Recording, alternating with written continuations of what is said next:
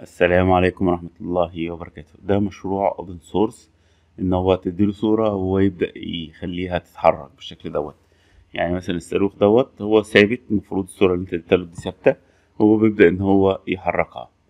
الموقع دوت open source فتقدر إن أنت تشوف الكود بتاعه JavaScript أو Python أو HTTP أو كذا. كل الامتدادات اللي ممكن إن أنت تشوفها زائد ممكن تستخدم اي بي اي اي بي اي عبارة عن إيه؟ إن أنت عندك موقع أو برنامج أو تطبيق تربطه بالموقع دوت بحيث إن أول ما تحصل أي تعديل يبدأ يظهر عندك. يعني ال- الواجهة هتظهر قدام المستخدم واجهة الموقع بتاعك.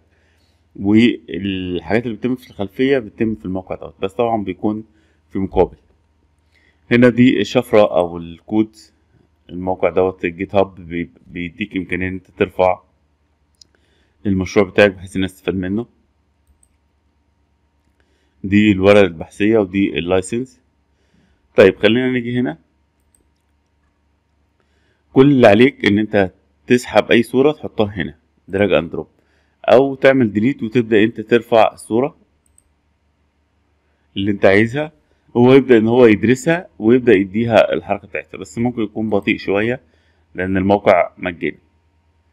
ممكن نختار صورة إيه مثلا؟ وتختار أي صورة تقول له okay هو بيبدأ يعمل دراسة ليها ويشوف إيه اللي ممكن نتحرك فيها. تمام؟ ومديك برضو بعض الاختيارات.